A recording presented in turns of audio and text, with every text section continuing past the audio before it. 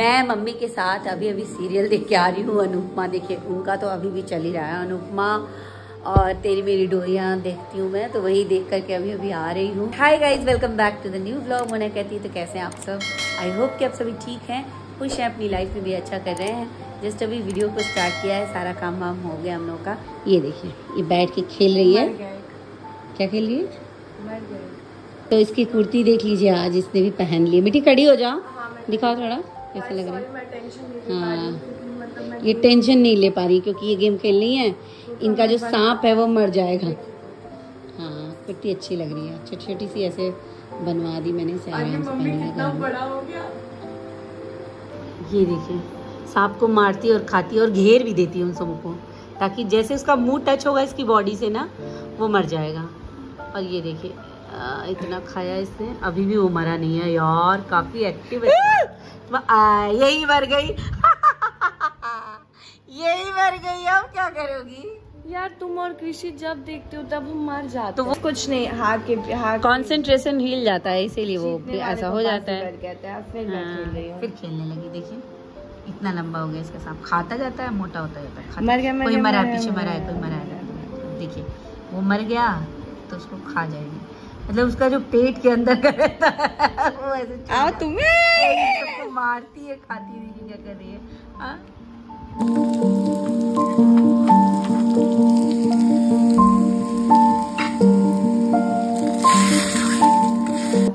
सो so, Pandey ji अभी just lunch करके चले गया आज क्या की हो फ्लैश लाइट जला रही। आज वो देवरिया में ही है तो कुछ सामान भी मंगाना था वो सब भी मंगा दिया मंगा लिया है। तो ये ऑयल का पैकेट रिफाइंड का सब आ गया है सामान और नीचे क्या है? नीचे भी कुछ चीज़ें हैं। जैसे कि क्या क्या है? सर्फ है, साबुन है, बर्तन वाला, कपड़े वाला। दिया मैं आपको बता दे रही हूँ इस लड़की के पेट में एक बात नहीं पचती है। एक बात इसके पेट में नहीं पचती है। मैं एक बात बोली हूँ, तुरंत आके आपसे कहने लगी अगर बाई दवे ये मेरी ननद होती तो ये आपका और मेरा झगड़ा लगा देती। आज तक झगड़ा तो नहीं हम लोग का हुआ है, लेकिन झगड़ा तो लगा देती।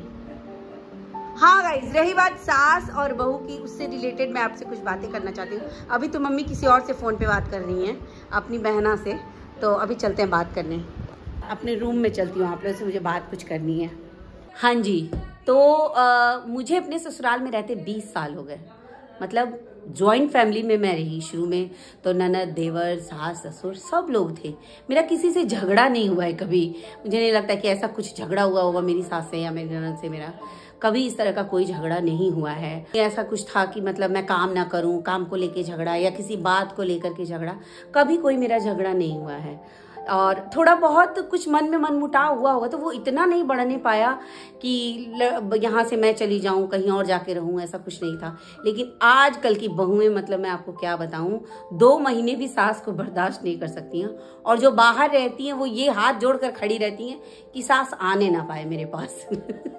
वो पता नहीं क्यों ऐसा करती हैं, अब तो ये वो समझ सकती हैं। लेकिन अगर कुछ बात होती है या कोई मन में बात रहती है तो मम्मी मेरे से खुल के बोलती हैं और मैं भी उनसे खुल करके बोलती हूँ। जो भी बोलना होता है, हम लोग सामने सामने से कि, अरे मम्मी, ये ऐसे नहीं, ऐसे करना था, आप अब ये बिगाड़ दी। तो कहेंगी हाँ हमके ना ही समझ में आएगा। मतलब वो रिएक्शन भी ऐसा देती हैं। और रही बात कि आप लोग कहेंगे कि आपकी सास सीधी हैं। हाँ सीधी हैं। तो एक सीधे के साथ भी एक टेढ़ा रहेगा तो काम नहीं चलेगा। कभी ना कभी तो विस्फोट होगा।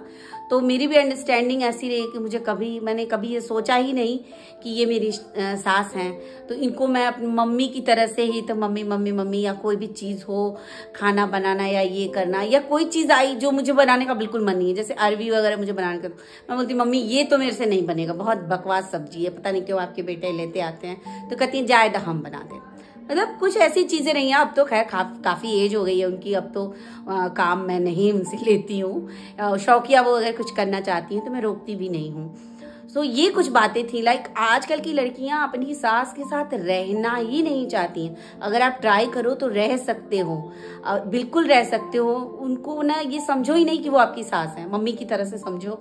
तो मैं भी रह सकते हो। वैसे मैं किसी, हर किसी का नेचर तो नहीं बता सकती किसका नेचर कैसा होता है, कौन कैसा है। लेकिन हाँ जहाँ तक मेरा अपना एक्सपीरियंस कहता है, मैं ये, जितना बना के बातें करो, जितना हो सके टाइम स्पेंड करो। और नंदों के साथ भी ऐसी ही बॉन्डिंग सच में बताऊँगी, नंदो के साथ भी मेरा बहुत अच्छा है, एकदम हम लोग फ्रेंडशिप की तरह से हैं, बिल्कुल। कुछ बताना हो, समझाना हो तो मैं बिंदास उन लोग को समझा देती हूँ। मतलब मेरी जो छोटी वाली है, उनको ही समझाना पड़ता है, और बड़ी वाली तो काफ़ी समझदार हैं, मगर हम लोगों में, आप इन दोनों में भी मतलब कोई कुछ हम लोग का कभी हुआ ही नहीं है झगड़ा लड़ाई या कुछ भी ऐसा करके। हाँ तो बस यही बात बतानी थी। देखिए यहाँ बुआ से बात हो रही है वीडियो कॉल पे। बताई ये- क्या कही हो कि दिन भर में तुम कितनी बार कॉल करती हो बुआ को और ईशा को? बता रही हूँ कि तुम नहीं नहीं तुम फिर भी बता दो कितनी बार करती हो? एक आइडिया दे दो। बीस बार। दिन भर इसको बात करनी रहती है। पता नहीं क्या बात है इसकी बात ही नहीं खत्म होती बुआ से। सो गाइस शाम हो गई है और मैं ऐसे ही घूम रही हूँ और ये मम्मी यहाँ पे पूजा करने जा रही है। पूजा करने जा रही हूँ, दीपक जलाने जा रही वही दीपक जलाने जा रही है। एंड मेरा तबीयत थोड़ा सही नहीं था। मैं आज पूरे दिन लेटी थी अभी मैं थोड़े ठीक महसूस कर रही हूँ। सो मैं और आप लोग को पता है आज मैं कुर्ती पहनी हूँ। वैसे मुझे ना मतलब वेस्टर्न ड्रेसेस और जीन्स टॉप सब बहुत पसंद है, लेकिन आई लव वेयरिंग कुर्ती, लेकिन ये लोग खरीदते नहीं मैंने कुर्ती ज़्यादा। कहती हैं लोग कि अभी छोटी हो। मुझे कुर्ती बहुत ज़्यादा पसंद है, बहुत ज़्यादा। मुझे बहुत पसंद है। बोलो। So guys we are talking कि मुझे कुर्तीज़ बहुत पसंद है। मुझे स्ट्रेट कुर्ती एंड आजकल फ़ैशन में है, पाकिस्तानी कुर्ती मुझे वो सब बहुत पसंद है। बट मेरी मम्मी को पसंद नहीं है, मैं कुर्ती पहनूँ। तो भाई, मेरी मम्मी को ऐसा मैं जीन्स टॉप पहनूँ मिडी पहनूँ, उनको वो अच्छा लगता है मेरे ऊपर। लेकिन मुझे कुर्ती बहुत अच्छा लगता है। एंड दादी बैठ के दिन रात तो सीरियल देखती हूँ वो सीरियल ही देख रही है। और ये बहू जा रही है दीपक जलाने घर की। चलो, बहू, दीपक जलाओ, बहू। एंड गाइस बगल में ना जो बच्चे रहते हैं ना तो शुभी का ये दीदी जब कुर्ती पहनी है। तो वहाँ की एक एक लड़की सब खड़े होकर चौकी पे से देख रही थी, दीदी, कुर्ती पहनी मिलती दीदी सूट पहनी है। मुझे लग रहा था कितना एक्साइटमेंट है हम सबों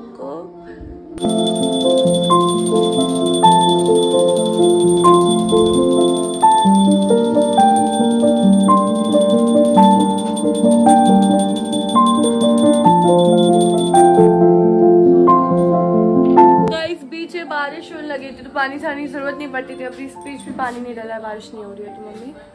डाली हूँ मैं इधर इसमें डाली हूँ करेले में डाली हूँ। डाली हो? हाँ थोड़ा बहुत पानी में डालती रहती हूँ। और ये मेरी तबीयत भी नहीं सही अब ठीक होगा तब मैं भी डालूँगी पानी वानी। क्या बनेगा आज? मेरा तो यही क्वेश्चन रहता है क्या बनेगा आज? क्या खाऊँगी मैं? देखते हैं मम्मी क्या बनाती है। वही मैं खाऊँगी। मैं बहुत बकबक कर रही हूँ ना क्योंकि मैं बोर हो रही थी मैं सोचा आप लोग बकबक कर दूँ। हाँ। और परवल दे दो। परवल थोड़ा सा कटा था सुबह का बना नहीं। परवल बनेगा like seriously yes mummy mummy कुछ तो अच्छा बना दिया। बेसन बेसन का सब्ज़ी बना दो। बेसन। हाँ गाइस एक सौ बीस रुपए किलो टमाटर हो गया। इससे बढ़िया भग इससे सस्ता पनीर हो गया है सब है। टमाटर को बहुत महँगा कर दिया। मुझे आवाज़ सुनाई दी। तो आई गेस कृषि आ गया। नहीं। यहाँ पे दो गायें के लिए लड़ाई कर रही है क्या? आई थी मुझे लगा कृषि आ गया। तो ये देखो मम्मी बना रही है। मैगी। मेरा मैगी बचा था ना वही मैं बना रही हूँ। तो मम्मी यहाँ पे आ गई मैगी बनाने और मम्मी सुनो तुम हमेशा हम लोग की मैगी से एक और खाती हो। तो याद रखना तुम्हारी एक क्योंकि हम दस बार नहीं खाते हैं प्लेट भर भर के। एक और तो देना पड़ेगा मोनी। और गाइस कृषि आ गया। ये रहा कृषि। बताती हूँ। ओ माय गॉड ये क्या की थी? ये बनाना था। ओ माय गॉड मम्मी ने किचन में लगा दी आग भयंकर वाली। किचन में आग लगा दी भाई। मैगी खाने के लिए। अपने स्टाइल की मैगी। लाइक पहाड़ी मैगी जो बनती है ना उस टाइप का मेरा मन था। लेकिन हल्का सा मैंने तेज गैस कुछ छूना लालची लोग आ गए जी निकाल निकाल के अपना। तुम कितनी अच्छी हो ना मैं बहुत ज़्यादा गंदी हूँ इतनी गंदी हूँ ना कि मैं बता नहीं सकती मैं कितनी गंदी हूँ। तुम बहुत अच्छी हो। बहुत ज़्यादा गंदी हूँ मैं। हमको पता है तुम बहुत बहुत बहुत अच्छी हो मम्मी। मम्मी तुमको पता है फिर जोमेटो का फिफ्टींथ बर्थडे था हम लोग कुछ ऑर्डर नहीं किए। सीधे ना आधा पैसे का सामान दे रहा था वो। तो क्यों नहीं करे तुम लोग? कहाँ थे तुम लोग? हम कर- क्यों बता रहे हो? मैं करने वाली थी लेकिन कोई रिस्पॉन्स ही नहीं दे रहा था। मुझे एक बात कही ये आग लग गई किचन में और धुआँ धुआँ हो गया। किचन में आग भी लगी और ये देखिए धुआँ धुआँ हो गया। इतनी सा मिला है और ये कृषि को खिला दिया। बेटा मेरा बेटा और यहाँ मैं खाने जा रही हूँ मैगी। हम लोग का डिनर विनर हो गया और किचन भी मीठी ने क्लियर कर दिया रात में जैसा वो करती है। फिर भी मैं थोड़ा आके एक बार चेक कर लेती हूँ तो वही मैं देख रही थी कि कुछ छोड़ा तो नहीं उसने, जैसे कि ये दही छोड़ दिए तो दही को फ्रिज में रख देती हूँ। और ये देखिए, इसमें तो सब्ज़ी थी खाली की है। ओ माय गॉड देखिए, सब्ज़ी समेत ये लड़की कढ़ाई को एकदम साइड में कर दी थी तो सिंक में ही डाल देती वो। एक बार इसने ऐसा किया भी था सिंक में ऐसी डाल दी थी, कढ़ाई ढक्कन लगा लगा, और उसमें पानी डाल दी थी। अब ये मैं कढ़ाई मीठी, तुम क्या की हो पता है? कढ़ाई में सब्ज़ी है। और तुम कढ़ाई उधर एकदम किनारे ले जाके रख दी थी। सिंक में भी तुम डाल सकती थी, तुम्हारा कोई ठिकाना नहीं है। इसीलिए मैं आती हूँ। धीरे धीरे सीख रही है। अकेले रहेगी तो भी तुमसे करना ही पड़ेगा। बाहर जाएगी तो। इसलिए मैं सोचती हूँ थोड़ा सा उसको ट्रेन करने के लिए सब चीज़ें करती हूँ। कि वो ट्रेन हो जाए थोड़ा सा। वीडियो को यही पैन करती हूँ। वीडियो अच्छी लगी हो तो वीडियो को लाइक शेयर कर दीजिएगा। चैनल पे न्यू है तो चैनल को सब्सक्राइब करना। बिल्कुल भी मत भूलिएगा। ओके फ्रेंड्स खुश रहिए। एंड पॉजिटिविटी बांटते रहिए बाय